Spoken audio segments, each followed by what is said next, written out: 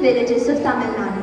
Kolusuvada Orathile is a love song that talks about a village girl who asks for various accessories like bangles, anklets and other cosmetics from the person she loves who is willing to do anything for her.